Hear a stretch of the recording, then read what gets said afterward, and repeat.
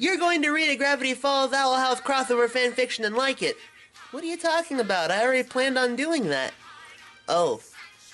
Oh, you did? Yeah. Oh.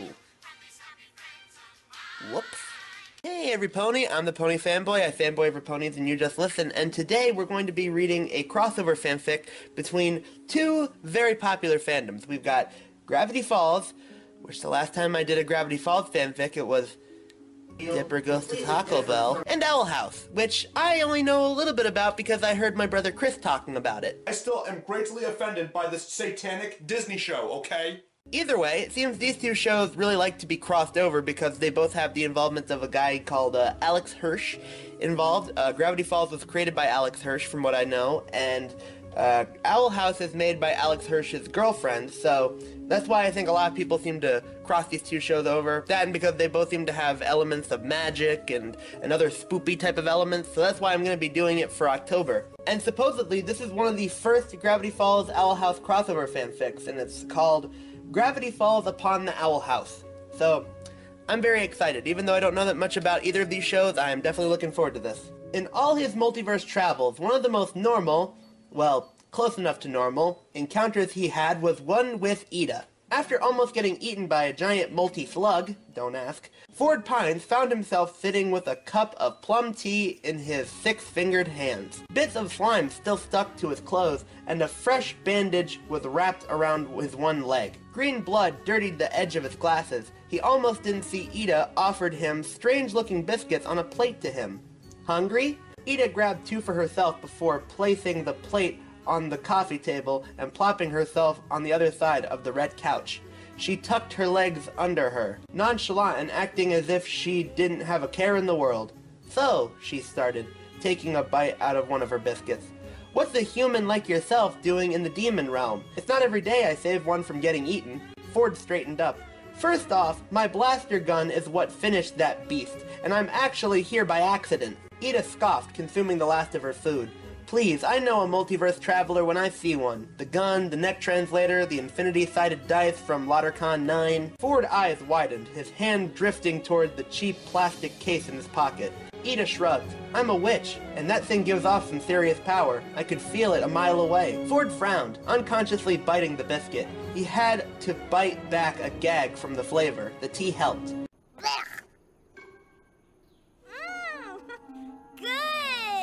I've done some traveling between dimensions myself back in the day. You could say I made a name for myself. She rapped her knuckles against the wanted poster behind him. Ford eyed the amount of bounty for her head. Right. To think he thought the one on him was high. Ida's was ridiculously, no, ludicrously high. At least this means he found the right witch. Ford placed his tea and half-eaten whatever foul thing being called a biscuit on the table and turned to look at Ida in the eye, a sense of seriousness all over him. I'm here because I needed to find you. Flattering. I needed to find you, he continued, ignoring the teething in her tone, because I wanted to give you this. Ford reached inside his coat and produced a folded piece of paper, handing it to Ida. Taking the proffered paper, she unfolds it and raised an eyebrow. Huh, so you're building a... yes. And you want me to give you this? She pointed at the paper with claw-like nails. He nodded. It's vital that I get that. She sat up, a glint in her eyes. Hmm. And in return, what will you give to me? This. Ford reached inside his pocket and produced a small package. Opening it, he reveals an ember, oval-shaped jewel inside. It glimmered in the candlelight like light off water. Ida rubbed her chin in thought, staring at the jewel, then smirked. You got yourself a deal. It's a deal, Sixer. Ford ignored the sudden memories as Eda snapped her fingers and the part he was searching for appeared in his hands. In sync, they exchanged the items before exclaiming it, making sure the other didn't cheat them with a fake. Each were satisfied with the results of the product. Ford was getting closer to finishing his quantum destabilizer and taking down that demon that ruined his life. Forgive me for asking, Ida spoke, breaking Ford out of his thoughts. She was holding the jewel between her two fingers, holding it high and admiring it. But who's the demon that ticked you off? Ford bristled, his body stiffening. Could this witch read minds or something? It's... it's best not to know. Sharing the knowledge will only get you dragged into it. It's a burden I must carry alone. Solitary hero complex, huh? Eda once again shrugged. Suit yourself. Try not to die then.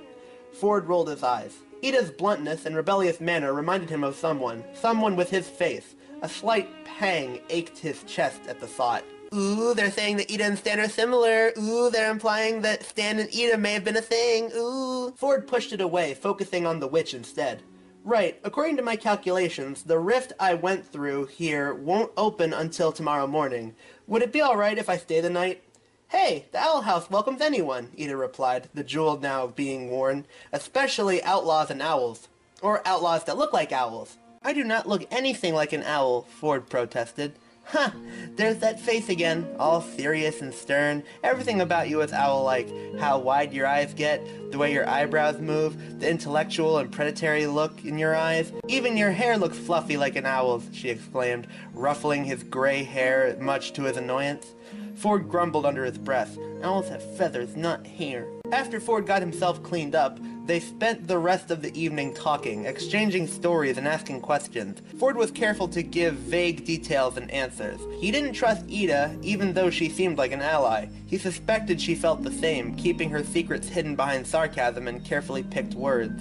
After a good night's rest, or at least as good as it can be when always on guard, and with the first rays of dawn appearing, Ford quickly prepared himself for departure. A groggy Ida showed him out, wearing clothes that a middle-aged woman would. I didn't think morning meant break of dawn for when you'd leave, she complained, rubbing one eye. Ford adjusted his strap before he held out his hand to her. Well, this is where we part ways. Thank you for your cooperation and hospitality. I appreciate it.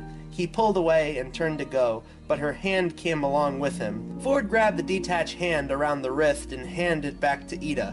I believe this belongs to you. Oops, Ida quickly took it back and reattached it as if it was a light bulb. That happens sometimes. Once again, I'm grateful for you lending a hand, Ford smirked. Ida gave him a bored look, hands on hips.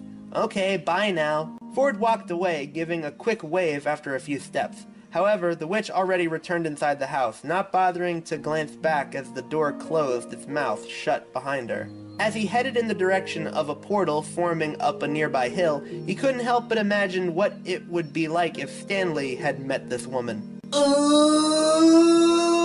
So that was a very cute one chapter story. I think the pacing in this was pretty good. In fact, I actually think the pacing was slightly better than something like uh, babysitting, which I still like but I feel like this it, it, was very quick, got in, got out, got a lot of the major stuff that it wanted to do. It was very interesting to see these two characters interact. Uh, I like the chemistry, even though I don't know that much about these shows. I do think they had a good balance between the characters interacting with each other. Uh, very good dialogue and snappy quips between the two, which I'm assuming that's how they are with their characters in their respective shows. I would really like to get into Gravity Falls and Owl House. I feel like that the Gravity Falls and Owl House fanboys can help me with that, so definitely looking forward to getting more into these shows. Anyways, guys, I'm the Pony Fanboy. I fanboy over ponies, and you just listen.